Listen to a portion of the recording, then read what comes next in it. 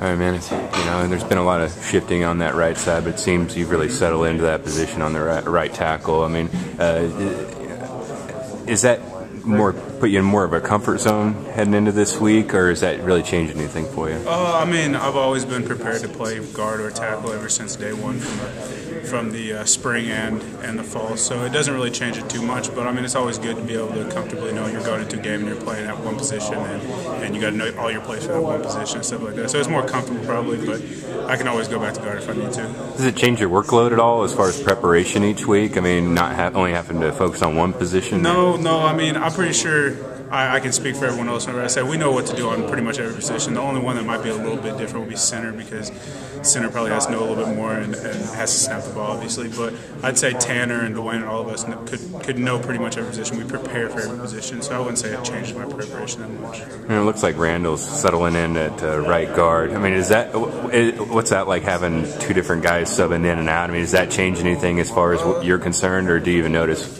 No, I mean you definitely notice because I mean they're obviously two different players and they play two different ways.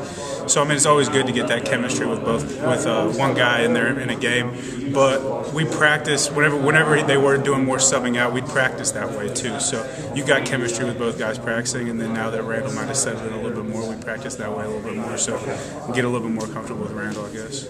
Uh, you didn't notice the difference in the backs, like when you when you're blocking, whether it's whether it's Taylor back there, or whether it's Tony. Do you have to do some different things? And Because they're both two different players. I mean, do you have to anticipate different things with those guys? Uh, I wouldn't say you have to anticipate different things. I mean, obviously we seem to probably maybe run a little bit more outside with Tony because he's obviously that quick, quick dude. But Taylor's really fast for how big he actually is, and Tony runs hard too. So I wouldn't say in my mind you don't think, oh, all right, Tony's back there, I got to do this differently, or Taylor's back there. You know, you pretty much approach everything differently. Maybe the play calling, but that's that's up to Coach Weis what he wants to call. You know, heading into week, you've had you know all, all the all the spring and all the fall, and now four. Uh, week 4 mm-hmm. you know, what have you noticed about Tim, Coach Grunhard, and what what has he done for your game, and how has he? Uh, I mean, Coach Grunhard's a really good coach. Uh, he's always he always brings energy to the to practices and to games. He's always fired up, ready to go, and and so that far as far as bringing energy is good. But he also knows exactly what he's talking about, and he can provide specific examples like this is how we used to do it.